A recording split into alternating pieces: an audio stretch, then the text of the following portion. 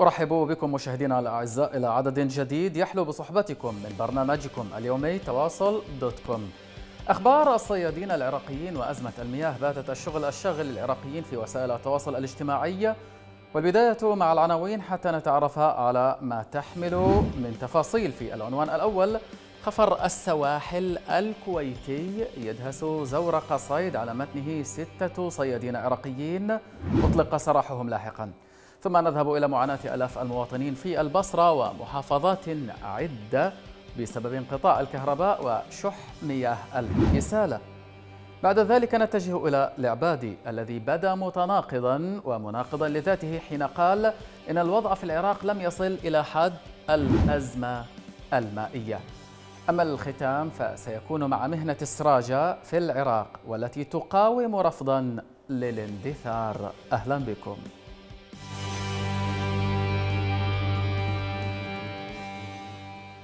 البداية مشاهدينا الأعزاء مع خفر السواحل الكويتي وتفاصيل الحكاية وما حدث تماما. هناك يوضحها لكم المقطع التالي. نشاهد معا. كابتن رحمة على أهلك. هذا الدوري الكويتي خبر السواحل غرق البلم. إحنا ناس عراقيين سماكه لا لا تطفي كابتن أنا ميت. اتبعك وين ما تروح؟ أنا ميت مخلص من الدنيا. آه الدورية الكويتية تعمد الزورق غرقته وعندنا واحد ميت.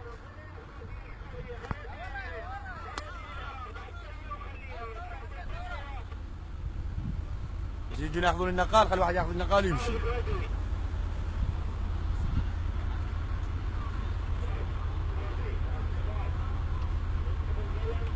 لا ما نطلع ما نطلع إلا نصاعد ما يطلع كابتن ما نسحب البلم يولي هنا يطمس. يولي البلم هنا يطمس. ثم النفرات تريد تكتلهم بصدرك هسه إحنا نفكر ببلم. بنحترق ابو أهل ابو أهل البلم. أنتم تعرفون اسلام هسه يجيب لنا صاحبنا. إحنا نودي على الجديده حسن! حسن حسن آه. خذوه أنور ماخذينه.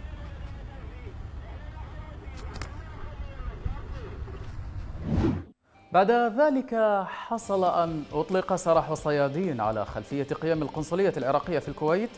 بتصوير الصيادين وإظهارهم في الصور بشكل يهينهم.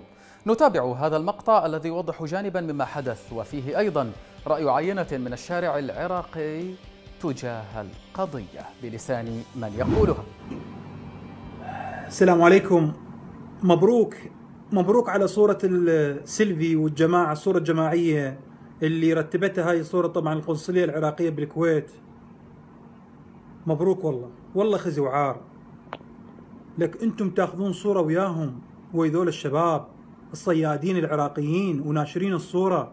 وأنتم قوتكم وأنتم العراقيين ما تستحون تطلعونهم حفات حفاي كانوا شلون المجرمين الإرهابيين؟ دول شباب دول أهل الفاو دول أهل مدينة البصرة. ذولا مو مجرمين ذول صيادين. كانوا بمياه الفاو العراقية مياه عراقية اعتقلوهم أنتم قاصين وياهم. جايبينهم شلون مدنقين وشلون مسوين عمل إرهابي. زين منين يجي لنا احترام إذا أنتم طالعين وياهم بهذه الصورة؟ ليش؟ ليش؟ ليش؟ بس قل لي ليش؟ شوف شوف شوف شلون حفاق والله العظيم شلون منظر منظر يطيح قيمتك ويطيح قيمة البلد ويطيح قيمة ذولا الفاسدين البائسين اللي واقفين وياهم. فيا ريت يا ريت من الشعب أي واحد من راح يشوف هذا الفيديو يتعرف لي على صور ذولا أو يودي لي صفحتهم. خليني شوية أنقع لهم شوية. ما تستحون؟ ولكم ذول أبناء البلد تطلعونهم بهاي الهيئة حتى صدام حسين ذاك الدكتاتور من كان يسلم الاسرى لإيران يلبسهم ملابس نظيفة ويعطيهم قرآن حتى يبين قدام الأمم المتحدة بأن ذول مرتبين وكذا ما سوينا لهم أي شيء للحقوق الاسرى ذولا ولد شعبكم ذولا أبناء الجلدة طلعونهم هيك حفاي؟ ليش؟ لأن راح يصيدون سمك؟ وأنتم منو؟ أنتم انت انت, انت هذا بالقاط وذول أنتم جماعة القوط الماخذين صورة على أساس مسوين إنجاز على أساس محررينهم على أساس مطلعينهم. ما أدري منين من داعش. لك والله ما تستحون فشلتونا ولو باقين بالسجن بالكويت أشرف لهم وأفضل لهم. يا رئيس الوزراء ويا وزير الخارجية يا إبراهيم الجعفري يا المارد. يا أخي انت أنت بكل كل عقليتك عمرك 75 سنة. ما شفت هاي الصورة؟ ما جبت ذول الموظفين ورزلتهم؟ مو ذول ولدنا وشبابنا؟ بهذا المستوى يعني انسجنوا انذلوا. ومن طلعوا هم انذلوا ومنين انذلوا؟ ترى مو من الكويت لا لا من أبناء الجلدة من ذول جماعة القوط اللي ما يستحون اللي يطلعون بهاي الهيئة. مو عيب؟ شو مسوين ذولا؟ لأن راحوا على مود أرزاقهم؟ شحكي والله ما أدري شحكي بلد وكله حواسل وأنا متأكد ذول لابسين قوط قبل كانوا خليني ساكت الآن إلى معاناة أخرى. إلى معاناة آلاف مواطني قضاء الزبير في البصرة بسبب تواصل انقطاع الكهرباء. نتابع. السلام عليكم ورحمة الله وبركاته. حاليا موجودين يم آه، آه، دائرة كهرباء الزبير. آه، طبعا المسؤول عليها صباح بدران. اليوم هو إجازة لأن استشهاد الإمام علي. استشهاد الإمام علي أبو الإنسانية. ومخلي الناس كلها طابقة من الصبح لهسه. زي لولا المحولات كلها طاقة والعالم عمي شاب عظيم. الله وكيلكم محمد كفيلكم. من أمس لليوم ميتين حر أهل الزبير. عمي درجة الحرارة وصلت فوق السبعين. الله وكيلكم محمد كفيلكم باعوا الناس هسه. باعوا الشكاوي. باعوا غرفة الشكاوي. هاي. هاي غرفة الشكاوي متروسة عالم عمي الله وكيلكم محمد كفيلكم زين. من الصبح لهسه واقفين. كل ساعة يقولون لنا هسه راح تجي تطلع سيارة. وتطلع سيارة. كل خمس ساعات ست ساعات يجون يقولون لنا تطلع سيارة. طبعا هاي السيارات شغالة بس ما ما حاط بيها سواق. زين الموظفين هنا لقيتهم نايمين. إذا ما تسوون لنا حل اليوم يا صباح بدران. الله وكيلك محمد كفيلك. الفهداوي يمك الشغلة ورئيس الوزراء يمك الشغلة. عمي متنا إحنا أهل الزبير باوع السيارات شغاله السيارات شغاله ما بين شيء بس ماكو موظفين. مطلعهم ما أدري شو السالفة. عمي حالة طارئة. حالة طارئة جهالنا ماتوا ذولا عمي شوفوا عمي شوفوا العالم. شوفوا شوفوا السيد. كلها عمي العالم كلها قاعدة. من الصبح لهسه والموظفين جوا نايمين. منطيهم اجازه بكيفه ليست الكهرباء هي المشكلة فحسب مواطنون أيضا في قضاء الزبير أكدوا أنه لا ماء في القضاء منذ ستة أيام. نتابع السلام عليكم. حجي هاي المضخة باوع هاي الباب مالها مقفول هاي العالم كذا المنطقة. واقفة باب واقفة باب المضخة. صار لنا ستة أيام بدون ماي. وبالمضخة يجي بس الصبح ويروح. هاي صورت لك فيديو حتى أنا ما لا أكون كذاب وهاي كلها وإحنا ترى ما عندنا ما عمي الله وكيلك صار لنا 15 يوم ما عندنا ماء شنو ماكو؟ صارنا بالعشرة يعني هاي لا صايرة لا دايرة حتى عند الله سبحانه وتعالى ما يقبل وهاي الم- وهاي المضخة مقفولة وهاي المضخة هاي المكان هذا سوق البنات. هاي سوق البنات وهاي المضخة تضخ منها وتضخ سوق الجيت. صار لنا 15 يوم ماكو ماي نبقى مشاهدينا الأعزاء مع أزمة الكهرباء والمياه لكن هناك من يصف واقع المياه في العراق بأنه ليس أزمة إلى المستوى الرسمي الآن. العبادي يقول إن العراق لم يصل حد الأزمة بخصوص الجفاف. نتابع معه. هناك خطط وإجراءات سليمة لتأمين الموارد المائية وتوجد إجراءات على الصعيد الداخلي والخارجي لهذا الأمر. الموضوع لم يدخل في خانة الأزمة. شحه مياه مو جديدة قديمة. خصوصا أن الموسم لهذا العام كان قليل الأمطار في مجاري الأنهر أو منابع الأنهر وقليل الثلوج في منابع الأنهر كذلك. هذه حقيقة. حتى بالعراق عندنا كانت قلة أمطار. هناك شحه بس ما وصلت إلى حد الأزمة. الحمد لله ماء الشرب متوفر للمواطنين والحكومة أيضا آه، لديها خطط لتوفير المياه للزراعة خصوصا الزراعة الصيفية. وزراعة محصول الحنطة للفلاحين لا يوجد قلق من هذه الناحية. الموضوع من وجهة نظر العبادي لم يصل حد الأزمة لكن ماذا يقول حينما يسمع وزير الموارد المائية التابع له وهو يظهر بكلام مناقض للعبادي؟ وزير الموارد المائية يتحدث عن أزمة حقيقية وقال إن الجفاف في العراق قادم لا محالة. نتابع. موقف يعني أكثر وضوحا. إخوان هاي الأزمة اللي نشاهدها هي ما صارت يعني اليوم أو البارحة أو قبل يومين ثلاثة. يعني هي كانت آه، من فترة وإحنا آه، أشرنا إلى هذا الأمر. آه، حذرت وزارة الموارد المائية منذ تسعة أشهر من حصول شحة مائية صيفية. ودعت إلى اتخاذ إجراءات عاجلة لمواجهتها وقد استجابت الحكومة لهذا التحذير وشكلت لجنة عليا متعددة الأطراف. تمثلت بها وزارات الزراعة والداخلية والدفاع والصناعة والكهرباء والإسكان والإعمار والبلديات. وشبكة الإعلام العراقي لتنسيق الاستجابة الوطنية للشحة المحتملة اجتمعت اللجنة المذكورة وأقرت خطة مواجهة الشحة وهي متاحة وموجودة أيضا بإمكان آه، تزويدكم بها. إنكار وجود الأزمة ليس كل ما ظهر لعبادي وهو يتحدث به. نعود الآن إليه وهو يقول إن العراق لا يحتاج إلى بناء السدود حاليا. نتابع. السدود الآن نصف مليء يعني ما مل ما مملية حتى نبني سدود أخرى. هي مو عندنا مشكلة السدود مليئة ونحتاري وين نحط المي. السدود الحالية غير مليئة. يعني لو عندنا سدود أخرى كان ما عندنا مي نمليها. ما عندنا المي ما يجي. المي اللي شحت المياه هذا العام المي قليل. فالسدود الحالية لم يتم ملئها. يعني سد الموصل ناقص سد حديثة ناقص سد دربندي خان ناقص سد السدود الأخرى أيضا. كلها ناقصة. يعني مو بالطاقة القصوى بل دون القصوى بكثير بسبب شحة المياه. بس أنا أطمن المواطنين. الخزين المائي الموجود الآن يكفي. مياه الشرب لا خطورة عليها. اتخذنا مجموعة إجراءات حتى مع انخفاض مستوى النهر اللي هو متوقع ربما إذا استمرت شحة المياه.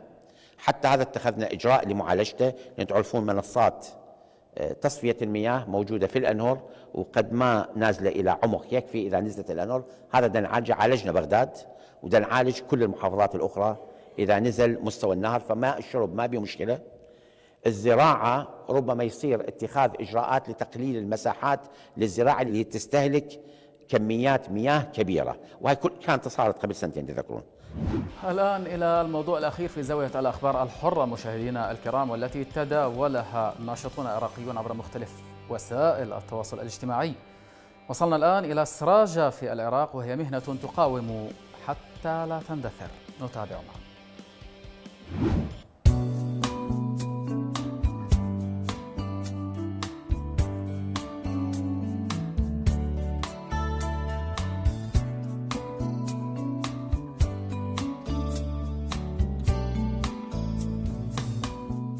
طبعا السراجه تعود إلى وقت قديم ما نقدر نحدده يعني ويا ما نقول بدء الخليقة لأن الانسان عموما يحتاج إلى مستلزمات آه، استخدام الجلد بمستلزمات ثانية اللي هي السراجه طبعا كأحزمة أو كأغطية بالنسبة للعهود القديمة آه، يلبسها في سبيل التدفئة.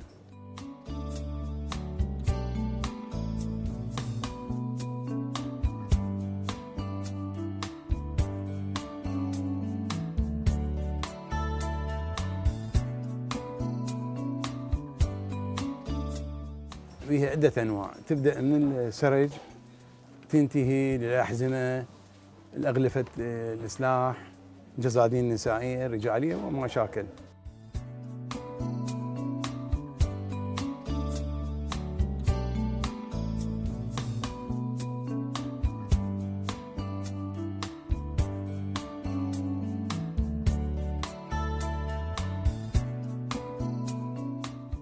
امتهنت هاي المهنة قبل حوالي 30 سنة. طبعا امتهنتها عن طريق والدي اللي علمني عليها علمني على أسرارها وكيفية العمل.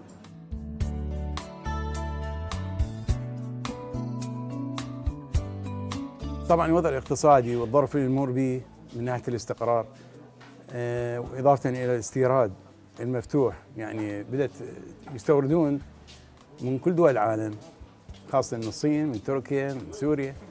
فبدأت هاي المهنة بالعراق آه، تضمحل وتوقف.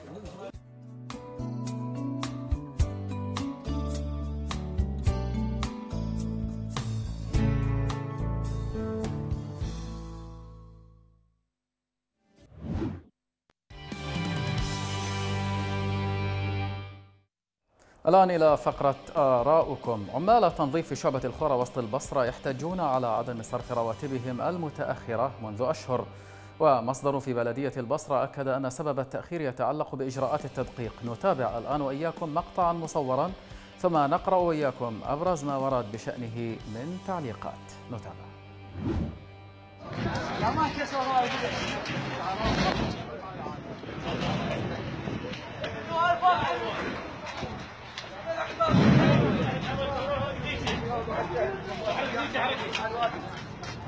مناويش ذي مناويش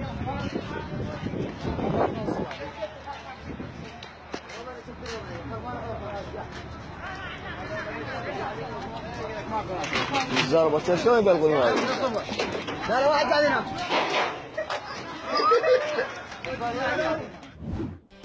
إذا هو جانب من الاحتجاج سواء اتفقت معه أو لم تتفق فهو يعكس حالة تحدث بالعراق لمواطنين يعملون ويواصلون عملهم ويحتاجون أن يقبضوا رواتبهم إلى التعليقات بشأن هذه القضية. في التعليق الأول أهاتي بسمية تكتب كانوا 450 هسه سووها 360 بمكان ما يزودوهم ويقولون خطية نقصوهم. هذه تتحدث عن فكرة أن المواطن المعدم في العراق هو فقط من تتحكم الدولة أو من يقف على شأن هذه الدولة. يتحكمون بأرزاق العباد من الغلابة والمعدمين والكادحين فيخصمون من المبالغ القليلة التي بالكاد والتي لا ربما من المؤكد أنها لا تكفي يخصمون عليهم ولا يعطونهم أيا من حقوقهم للأسف. إلى تعليق جديد. في التعليق التالي مراد الخالدي يكتب ليش ما تعطوهم رواتب هو عامل نظافة وهذا حقه. وتقولون البصرة منظيفة. مراد يتحدث عن حالة مجتمعية ويقول إذا كنا نحن غاضبين بسبب ما يحدث في البصرة من تكدس لأكوام النفايات الأولى بكم أو أولى الأولى بك أيتها الحكومة أن تصرفي حقوق هؤلاء العاملين في مجال النظافة حتى تعود البصرة وغيرها من المحافظات إلى سابق عهدها. والآن إلى تعليق جديد.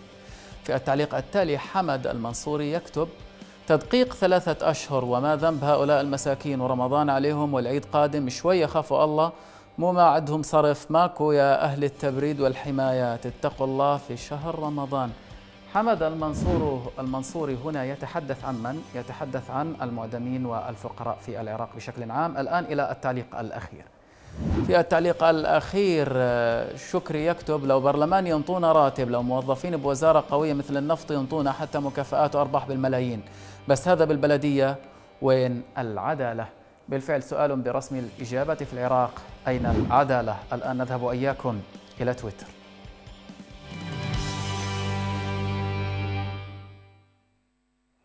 دجلة ينعبر مشي. هو هذا الهاشتاج الذي نشط خلال الدقائق أو خلال الساعات القليلة السابقة. نقرأ عليكم أبرز التغريدات التي ذيلت بالوسم الإلكتروني. دجلة ينعبر مشي. مروان يكتب اعتدنا على القتل وعلى التفجيرات وعلى مناظر الدم وعلى فقدان الأحبة وعلى المرض وجربنا كل أنواع الألم لكن هل سنعتاد على موت شريان الحياة وعلى صانع تاريخنا وحضاراتنا؟ شوكت يصحى الشعب النايم. دجلة ينعبر. مشي إذا هناك حالة رفض وسخط شعبي على تقصير الحكومة فيما يتعلق بحالة النهر نهر دجلة والفرات وما يحدث في مختلف الثروات المائية هناك في العراق إلى تغريدة جديدة. في التغريدة التالية يوسف يكتب عندما يكتب التاريخ فسيحمل الحكم الشيعي كل ما حدث بعد 2003 على اختلاف كان صحيح أم لا. مع أن أهل الجنوب شبعوا جوعا وفقرا وشهداء لكن قادتهم ما يبالون إلهم ولا لدمائهم الجنوب بحاجة إلى ثورة شبابية حسينية حقيقية. هذا ما قاله يوسف ويبدي من خلاله اعتراض المحافظات الجنوبية على السياسة الفعلية ومن يقف على يعني سقف المؤسسة السياسية في العراق اليوم. إلى تغريدة ثالثة في هذا الموضوع دجلة ينعبر مشي. رؤى تكتب المتستر أفسد من الفاسد. إذا هي نصيحة ومعلومة وفهم واضح لطبيعة الأحداث من مواطنة عراقية والآن إلى التغريدة الأخيرة. في التغريدة الأخيرة عايشة تكتب ويقول لك هالبلد راح يصير براسه خير فد يوم الله ليستر من الجاي. دجلة ينعبر مشي للأسف. الآن نذهب إياكم إلى المقاطع المصورة.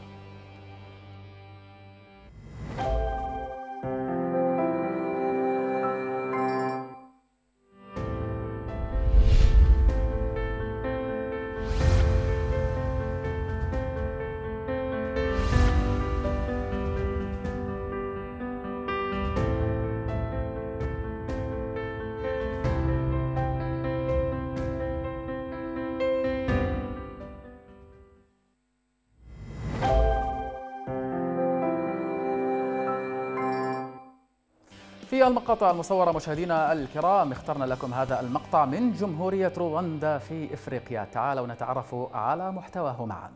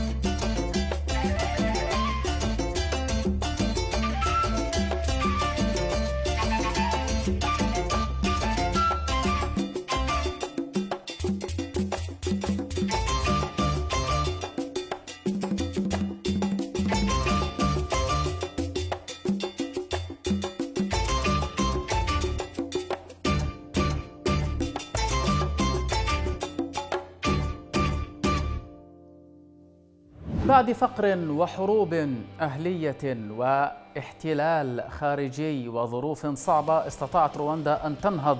ذات النموذج لنسحبه أيضا ونطبقه على العراق. لكن في ظل وجود هذا المستوى السياسي وأقطاب هذه العملية السياسية على ما يبدو أنه من الصعب في الوقت الراهن أن تصبح العراق اليوم مثل رواندا وكيف أصبحت عليه حالياً. مشاهدينا بهذا نكون قد وصلنا وإياكم إلى ختام كل ما لدينا في عدد هذا اليوم من تواصل دوت كوم. ألتقيكم غدا بحول الله. إلى اللقاء.